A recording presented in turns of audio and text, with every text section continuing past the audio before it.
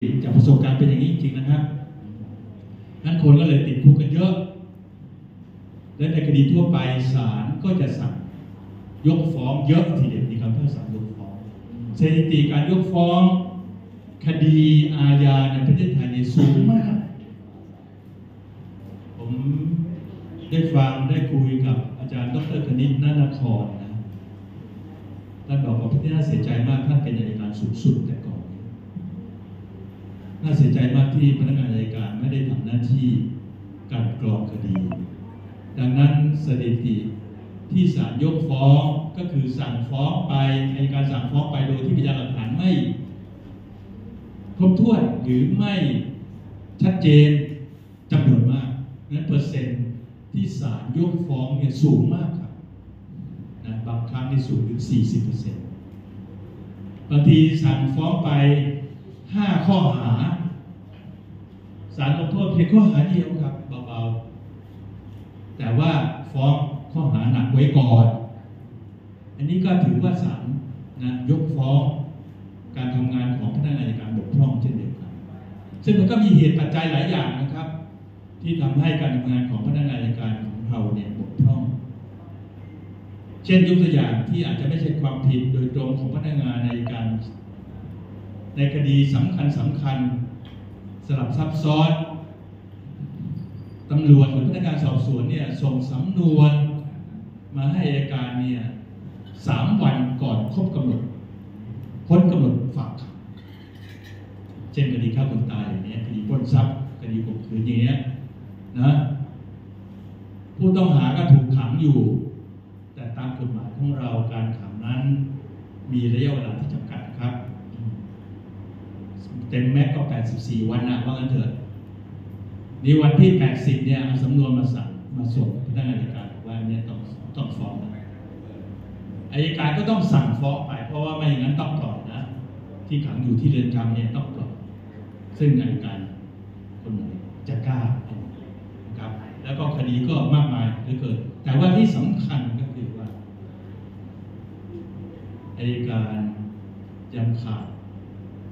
ความคิดคำนึงนะครับ ถึงสิทธิของประชาชนโดยผู้ยิ่งประชาชนที่ตกเป็นผู้ต้องหาอันนี้เป็นเรื่องสำคัญมากนะครับนั้นถ้าอายการได้คำนึงถึงเรื่องนี้ในการปฏิบัติหน้าที่เนี่ยผมคิดว่า กระบวนการยุติธรรมไทยก็จะได้รับการปฏิรูปนะครับพอสมควรทีเดียวส่วน ส่วนอีกชั้นหนึ่งก็คือในชั้นศาลนะครับอืมก็ในชั้นศาลนี่พวกเราก็คงพูดกันมาแล้วเนาะเยอะแยะเข้าใจอยู่ครับ คือถ้าเป็นคดีทั่วทั่วๆไปเนี่ย ก็อาจจะพูดได้ว่าระบบของศาลไทยนั้นได้รับการยอมรับพอสมควรอืมในเรื่องความเป็นอิสระและความยุติธรรม จะพูดยกตัวอย่างเช่นคดีศาลยกฟ้องไปเยอะทีเดียวนะครับ แต่ถึงขนาดนั้นก็ก็ตามเนี่ยผมก็คิดว่ายังไม่เพียงพอ แล้วมาเจอคดีการเมืองเข้าแล้วโดยเฉพาะยิ่งคดีที่เกี่ยวกับหนึ่งหนึ่งสองเนี่ยผมคิดว่า กระบวนการยุติธรรมนักวิชาการด้านกฎหมาย ทนายความต้องมาระดมสมองถกเถียงกันอย่างตรงไปตรงมา เรื่องคดีหนึ่งสองเพราะคดีหนึ่งสองเนี่ยนะครับกลายเป็นเครื่องมือทางการเมืองของกลุ่มการเมืองบางคนบางกลุ่ม ที่ไปใช้กันแกล้งโดยอ้าง ความจงรักภักดีนะครับ กับฝ่ายตรงข้ามอันนี้เป็นปัญหามากแล้วก็ไม่มีใครกล้าไม่มีใครพูดในทางกฎหมายจริงๆเนี่ย แน่นอนว่าประมุขของประเทศเนี่ยทุกประเทศแหละครับต้องมีกฎหมายคุ้มครองปกป้อง และของเราก็มีนะครับ แต่ตามกฎหมายเนี่ยตีความกันตามหลักของกฎหมายอาญาเนี่ยต้องตีความอย่างเคร่งครัดนะครับ ก็คือผู้ที่ได้รับการคุ้มครองเนี่ยมีสี่บุคคลหรือ สามพระองค์กับหนึ่งบุคคลเท่านั้น ก็คือพระมหากษัตริย์ พระราชินี องค์รัชทายาทและก็ผู้สมเด็จราชการแทนพระองค์เท่านั้น เท่านั้นนะ ไม่ใช่หมายถึงสถาบันครับเป็นตัวบุคคลคำว่าสถาบันเนี่ยเป็นองค์คาพยพซึ่งประกอบด้วยกลไก หน่วยงาน บุคคลต่างๆจำนวนมากครับ ซึ่งในบุคคลต่างๆที่ประกอบกันเป็นสถาบันเนี่ย ก็มีทั้งบุคคลที่ดี บุคคลที่มีจุดอ่อนก็บกพร่องนะครับ เช่นข้าราชการในสำนักงานต่างๆ ที่เกี่ยวข้องอย่างนี้เป็นต้นซึ่งบางทีก็ไม่รู้ว่าจะ ว่าเป็นอย่างนั้นอย่างนี้นะครับ เพราะในต่างประเทศเนี่ยโดยหลักของการปกครองในระบอบประชาธิปไตยที่มีพระมหากษัตริย์ทรงเป็นประมุขซึ่งเราเอาแบบอย่างมาเนี่ยโดยผู้ยิ่งจากอังกฤษ ซึ่งเป็นต้นแบบเนี่ยที่เราเอามาเนี่ยมันมีหลักการสำคัญอย่างหนึ่งนะครับ ที่จะปกป้องสถาบันพระมหากษัตริย์ ปกป้องสถาบันนะ ปกป้ององค์พระมหากษัตริย์ที่เป็นประมุขด้วย ก็คือหลักการที่ว่า the king can do no wrong ไม่ได้หมายความว่าไม่ไม่ได้หมายความว่าพระมหากษัตริย์ทำอะไรไม่ผิดนะครับ ไม่ใช่ แต่หมายความว่าพระมหากษัตริย์ทำอะไรไม่ได้เลย เมื่อทำไม่ได้เลยก็จะไม่ผิดครับ คนที่ไม่ทำอะไรเลย ก็จะไม่ผิดจริงไหม เพราะว่าการกระทำของพระมหากษัตริย์เนี่ยภายใต้ระบอบการปกครองประชาธิปไตยที่มีพระมหากษัตริย์เป็นประมุขภายใต้หลักการ The King Can Do No Wrong เนี่ยจะต้องมีผู้รับสนองพระบรมราชโองการเสมอไอ้คนที่ต้องรับผิดไปก็คือคนที่เซ็นรับสนองพระบรมราชโอง การเช่นนายกรัฐมนตรี ประธานรัฐสภาหรืออะไรก็แล้วแต่นะครับ เพื่อที่จะให้พระมหากษัตริย์นั้น อยู่เหนือปัญหาหรืออยู่เหนือความขัดแย้ง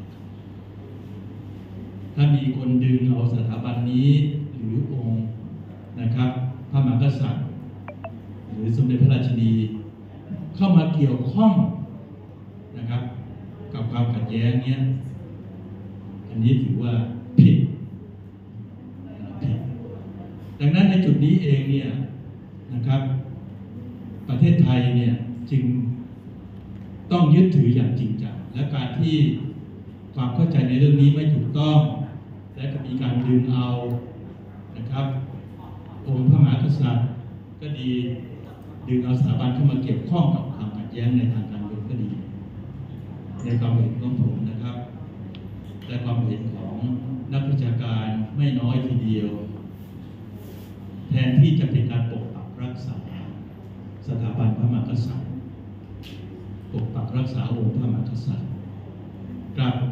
อาจจะทำให้เกิดความเสื่อมเสียนะครับต่อสิ่งด้วย อันนี้เป็นเรื่องสำคัญดังนั้น การตั้งข้อหา1นึเนี่ยถ้าไม่เข้าข่ายหมิ่นประมาทองค์พระมหากษัตริย์นี่เราพูดถึงกฎหมายนะ ดูหมิ่นหรือแสดงอาฆาตมาตร้ายสี่บุคคลทั้งสี่นี้แล้วเนี่ยก็ไม่ควรจะมีความผิด หรือตกเป็นผู้ต้องหาหรือจำเลยในคดีหนึ่งหรือสองนะครับ จจุบันนี้ แม้แต่คนที่วิพากษ์วิจารณ์พระมหากษัตริย์ในอดีตก็ถูกตั้งข้อหาหนึ่งสองคนที่วิพากษ์วิจารณ์สถาบันนะครับ ก็ถูกตั้งข้อหาหนึ่งสองคนที่วิพากษ์วิจารณ์สมาชิกในพระราชวงศ์ซึ่งไม่ใช่เป็นบุคคลสี่คนนี้ ก็ถูกข้อหาหนึ่งสองนะครับ ดังนั้น ถ้าเอาหลักเกณฑ์ที่ถูกต้องตามหลักของกฎหมาย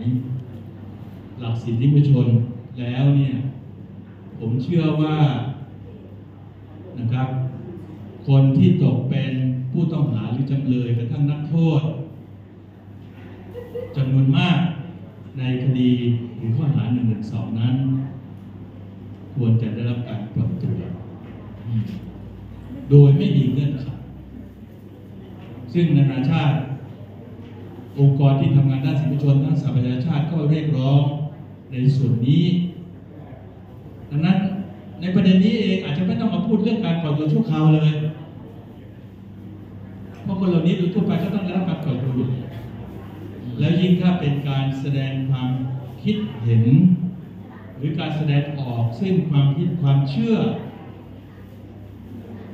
ที่ไม่เป็นการใช้ความรุนแรง หรือยุยงให้ใช้ความรุนแรงแล้วเนี่ยโดยหลักศีลชนแล้วก็ไม่ผิดอยู่แล้วครับ ก็ไม่ควรจะต้องถูกจับกุมดำเนินคดีไม่ว่าในข้อหาใดๆก็ตามรวมทั้งหนึ่งหนึ่งสองรวมทั้งหนึ่งหนึ่งหกรวมทั้งตามพระราชกำหนดต่างๆนะดังนั้นก็ไม่ควรจะต้องมีเนี่ยประเด็นที่หนึ่งครับนั้นผมคิดว่า ข้อหา1นึข้อหา1นึเนี่ย เป็นข้อหานะครับที่บุคคลหรือกลุ่ม การเมืองบางคนบางกลุ่ม พยายามใช้กลไกทางกฎหมาย เป็นเครื่องมือในการปิดปากปิดกิจกรรมนะครับในการดำเนินการของบุคคลหรือกลุ่มบุคคลที่เป็นฝ่ายตรงข้ามกลุ่มบุคคลเช่น การที่จะยุบพรรคการเมืองบางพรรคที่กำลังดำเนินการอยู่อย่างขมีขมังในปัจจุบันนี้เป็นต้นประเด็นที่สองคือการปล่อยตัวชั่วคราวเนี่ยตามหลักสิทธิมนุษยชนแล้วการปล่อยตัวชั่วคราวนั้น ควรจะ เป็น ไม่ควรใช้คำนี้นะ ไม่ควรใช้คำนี้ เพราะว่าการเอาคนไปกักไปขังไปควบคุมตัวเนี่ย ควรจะเป็นเพียงข้อยกเว้นเพราะตามหลักสมชนแล้วคนเกิดมาเสรีนะครับ เป็นอิสระนั้นถ้าไม่มีเหตุจำเป็นจริง ๆ ก็ไม่ควรเอาคนไว้ภายใต้อำนาจของรัฐคือการเอาไป ควบคุมตัวไปคุมขังไปกักขังไม่ว่าจะโดยข้อหาต่างๆซึ่งประมวลกฎหมายวิธีพิจารณาความอาญาของเราที่มีการแก้ไขนะครับ โดยเฉพาะอย่างยิ่ง การแก้ไขตามมาตรา 108 ทับหนึ่งก็ยืนอยู่บนหลักการนี้อยู่แล้ว คือหลักการที่ว่าคำสั่งไม่ให้ปล่อยตัวชั่วคราวเนี่ยจะทำได้เมื่อมีเหตุ อันควรเชื่อว่าเป็นเหตุใดเหตุหนึ่งดังต่อไปนี้เท่านั้นซึ่งเมื่อกี้ตะวันก็พูดไปแล้วนะครับ เช่น เกรงว่าจะหลบหนี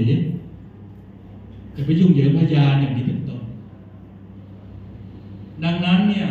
การปล่อยตัวชั่วคราวเนี่ยต้องเป็นหลักครับ การเอาไปคุมขังไว้ ควรจะเป็นเพียงข้อยกเว้นที่มีเหตุจำเป็นจริง ๆ เท่านั้น แต่ความเข้าใจของบุคคลในกระบวนการยุติธรรมไทย โดยเฉพาะอย่างยิ่งในชั้นศาลเนี่ยซึ่งศาลเนี่ยมีบทบาทสำคัญมากครับในทุกประเทศ ที่เป็นอารยะที่เป็นประชาธิปไตยที่ยึดถือหลักศีลพิชนและยึดถือหลักนิติธรรม คือเป็นองค์กรและเป็นหน่วยงานที่คุ้มครองสิทธิเสรีภาพของประชาชนครับ โดยเฉพาะอย่างยิ่งการคุ้มครองสิทธิเสรีภาพของประชาชน ไม่ให้ตกอยู่ภายใต้ การกันแกล้งรังแกของฝ่ายบริหาร คือรัฐบาล และเจ้าหน้าที่รัฐต่างๆ ซึ่งปัจจุบันนี้ในประเทศไทยก็มีเจ้าหน้าที่บุคลากรของรัฐ ที่สังกัดของฝ่ายบริหารนั้น ผมคิดว่าไม่น้อยกว่าสองล้านคนสองล้านคนนะ เพราะถ้าเรามีรัฐบาลที่เกเร มีรัฐบาลที่ที่ชอบ มีรัฐบาลที่เป็นทรราช ซึ่งเราก็มีรัฐบาลที่เป็นทรราชเยอะมาก ทั้งที่มาจากการรัฐประหารและมาจากการเลือกตั้งเขาสามารถสั่งคนสองล้านคนนี้ได้ ทหารกี่แสน ตำรวจกี่แสน ครูอีกกี่แสน สั่งได้หมดครับ เพราะมีกฎระเบียบกฎหมายที่ให้อำนาจ รัฐบาลที่เป็นฝ่ายบริหารนั้นสามารถสั่งการเจ้าหน้าที่ของสบกระทรวงทบวงกรมต่างๆได้ดังนั้นเราจึงเจอนักเรียนเยาวชนต่างๆ ก็ต้องเผชิญกับปัญหาของการละเมิดสิทธิ อย่างมากมายก็ ครูเนี่ยสองแสนในประเทศนี้นะครับแล้วมีเจ้าที่สาธารณสุขมีเจ้าที่นู้นนี่นั่นกก็เป็นล้านคนทีเดียวทำอย่างไรจึงจะป้องกันหรือแก้ไขไม่ให้ฝ่ายบริหารซึ่งมีกำลังคนเป็นล้านเนี่ย มันละเมิดสิทธิเสรีภาพของประชาชนนั้นไม่สมควรได้ ก็คือหน้าที่ของฝ่ายตุลาการนั่นเอง ตามหลักนิติรัฐคือหลักของการตรวจสอบโดยตุลาการครับ เมื่อตำรวจจับคนมามาฝากขังตุลาการต้องถามครับ ต้องซักไซครับเอ้ยมีเหตุหรือเปล่าเนี่ยอสมควรมาที่จะจับเขามาเนี่ย ใช่เปล่าจะรอให้มีทนายปาความไปช่วยเนี่ย ผมคิดว่าสักกี่เปอร์เซ็นต์ครับ ที่ตาสีตาสาชาวบ้านเนี่ยจะมีทนายความไปช่วย ไม่มีครับ นอกจากคนมั่งมีคนร่ำรวยคนมีสถานะอันนี้คือต้องเป็นหน้าที่ของศาลนอกฐาน เพื่อคุ้มครองสิทธิเสรีภาพของประชาชน ทีนี้การ ที่ศาลจะทำหน้าที่ตรวจสอบถงดุลฝ่ายบริหารได้ และคุ้มครองสิทธิเสรีภาพของประชาชนได้เนี่ยเงื่อนไขที่สำคัญที่สุดคือศาลต้องเป็นอิสระ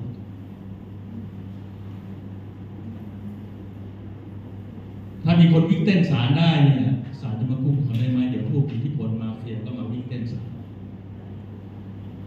ฝ่ายบริหารมาวิ่งเต้นศาลอำนาจนอกระบบมาวิ่งเต้นศาลมาสั่งศาลมาสั่งการต่างๆ แล้วจะไปคุ้มครองประชาชนได้อย่างไรโดยเฉพาะยิ่งในคดีการเมืองนะครับในคดีการนี่ความเป็นอิสระของศาลมันหมายถึงอย่างไรครับ แน่นอนในการแต่งตั้งเรื่องตำแหน่งต่างๆนี้มีการมีความเป็นอิสระ แต่ความเป็นอิสระของศาลนั้นไม่ได้หมายเพียงว่า รัฐบาลมาชี้นิ้วไม่ได้เท่านั้น แต่ ผู้พิพากษาที่พิจารณาคดีเนี่ยต้องมีความเป็นอิสระด้วยครับ หัวหน้าศาลจะมาชี้นิ้วมาสั่งการไม่ได้ อธิบดีนู่นนี่ของศาลจะมาสั่งการไม่ได้ ประธานศาลฎีกาจะมาสั่งองค์คณะว่าคุณต้องพิจารณาอย่างนี้อย่างนั้น ให้ประกันหรือไม่ให้ประกัน ต้องเป็นดุลพินิจของศาลนี่ศาลจะใช้ดุลพินิจได้เนี่ยนอกจากมีความเป็นอิสระแล้วเนี่ย ศาลต้องมีความสามารถด้วยมีความเข้าใจหรือ competent มีความรู้มีความเข้าใจนอกจากความรู้เข้าใจกฎหมายแล้ว ยังต้องเข้าใจปัญหาของประชาชนตามสมควรด้วย ไม่ใช่คนยากคนจนไปหยิบซาลาเปามาให้ลูกถึงร้องงองแงเพราะหิวโหย ให้กินผิดลักทรัพย์เนี่ยตัดสินจำคุกเลยไม่ใช่ครับศาลต้องพิจารณาถึงความเป็นธรรมความเป็นธรรมคือกฎหมายสูงสุดศาลยังต้องมีความเป็นอิสระจากอคตินี่สำคัญมาก จากอคติศาลเป็นมนุษย์ครับทุกคนมีความเชื่อ มี คิดบางคนนิยมโน่นนิยมนี่ เชื่อนั่นเชื่อนี่หมันไส้เยาวชนก็มี บางคนก็หมั่นไส้คนแก่ก็เยอะ ไม่ชอบทหารก็มีที่โปรทหารก็มาแต่ตราบใดที่คุณมานั่งอยู่บนบัลลังก์เพื่อพิจารณาคดีเนี่ยคุณต้องปราศจาก ไม่งั้นคุณจะให้ความคิดทำได้ยังไงเพราะศาลเป็นผู้ให้ความยุติธรรมนะคนก็ขาดความเชื่อมั่น ในกระบวนการยุติธรรมไทยไม่ใช่ เฉพาะชั้นตำรวจอายการเท่านั้นนะตอนนี้ขึ้นไปถึงชั้นศาลด้วยเพราะช่วงสิบกว่าปีที่ผ่านมาเนี่ยหลายสิ่งหลายอย่างเนี่ย มันแสดงออกซึ่งเนี่ยผมในฐานะเป็นทนายความผมห่วงผมไม่ได้ห่วงศาลเนาะผมห่วงสังคมไทย ผมห่วงสังคมไทยคือ ถ้าสังคมไทยขาดเสียซึ่งความเชื่อมั่นในกระบวนการยุติธรรมเสียแล้วเนี่ย ไปไม่เป็นเลยนะครับ แต่การที่จะทำให้สังคมไทย ยังมีความเชื่อมั่นในกระบวนการยุติธรรมอยู่ หรือตอนนี้มันเสียหายไปแล้วจะฟื้น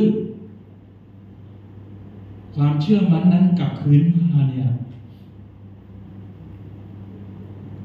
มันต้องอยู่ที่กระบวนการยุติธรรมครับโดยเพาะยิ่งกระบวนการยุติธรรมในชั้นศาลต้องปฏิรูปต้องปฏิรูปนี่คือคดีการเมือง คือคดีอาญา ถ้าเป็นคดีศาลรัฐธรรมนูญด้วยเนี่ย ไปเลยนะครับ นี่คือคำถามโตๆนะครับที่สังคมไทยกำลังถามว่าถ้าเราอยากจะมีความเชื่อมั่นในกระบวนการยุติธรรมในชั้นศาล